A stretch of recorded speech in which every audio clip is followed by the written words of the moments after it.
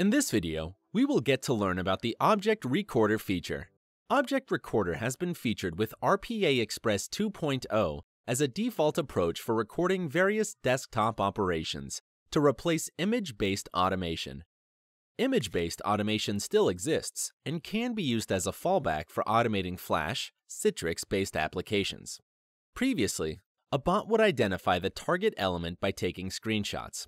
This meant that a mouse action would not be performed in case the specified image was not found. With the object recorder, the bot locates UI elements by their unique identifier called selector to perform actions. In most of the cases, the object recording approach is the most reliable. It is independent of the element's color, size, text, or other attributes which can be different from one computer to another. You can start to use Object Recorder by opening WorkFusion Studio in Record mode, start a new recording, and click in any desktop application. Let's make a voice recording and delete it.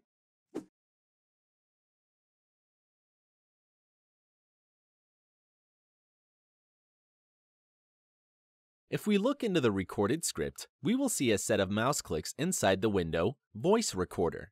Each mouse click action now has new selector type, Windows control, and it's activated by default. As we can see, Studio captured selectors of elements we clicked and populated per each action accordingly. With this approach, even if we change the user's theme, the bot will still be able to identify the target elements and execute the script.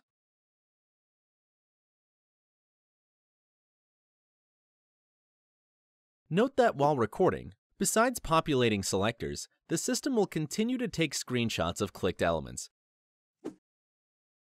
So if you need to switch to the image-based mode for a particular action, just choose the Image option.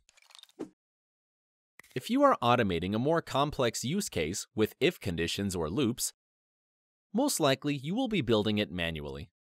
In this case, Studio also helps you get the selector of the target UI element. For that, please click on Capture from Screen. Then, with the Control key pressed, click and open the necessary window until you get to the view that contains the element you want to interact with. Hover the mouse on the target UI element, release Control, and click. The system will capture the selector of that highlighted element from the last click. If you change your mind and decide to exit from the capture mode without updating the selector, please press the Escape button. This script will open the WordPad window and enter the phrase test four times, each time increasing its font size. The selector captured by the system can be adjusted manually.